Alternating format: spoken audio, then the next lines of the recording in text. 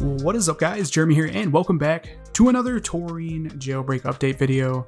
So Taurine has been updated once again to version 1.0.4. This is a big update, so I would recommend you guys to update your jailbreak if you're running anything older than this, like version 1.0.3.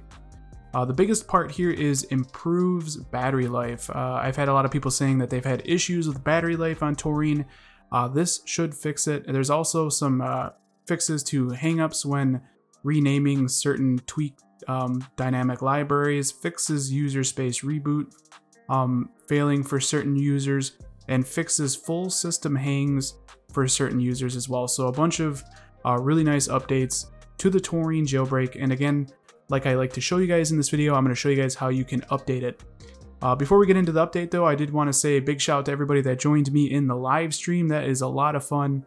I will be doing more of them probably next week.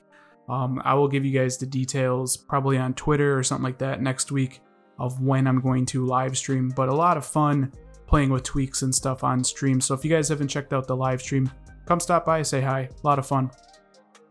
But we're going to do the terminal method for updating the jailbreak. And if you guys haven't seen this, it's really cool. So first we're going to sign into our root directory by typing su. The default passcode is Alpine, all lowercase. So go ahead and type that out. And then all we got to do is JB update. And this will update our Taurine jailbreak from version 1.0.3 up to version 1.0.4. So we're just going to go ahead and click on enter there. And as you can see, it is going through the process of updating the jailbreak. Absolutely love that feature. It's super cool that you can just run a command, update the jailbreak, and you don't have to worry about uh, boot, rebooting and then re-jailbreaking. You just update it and you're done and over with.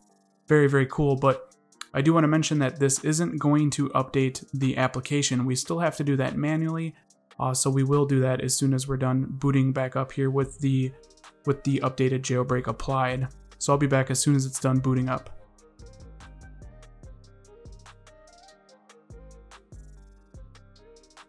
All right, we're booted back up.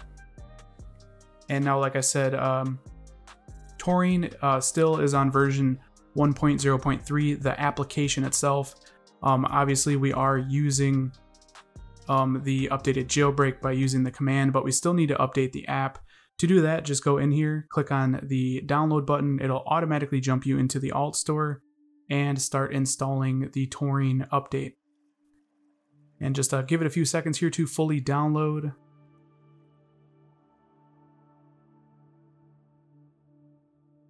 And it's done. And now we have the updated Taurine jailbreak application as well. If we go ahead and launch it, as you can see, there's no more updates in the uh, status bar there. So we are fully up to date running the newest version of Taurine, version 1.0.4.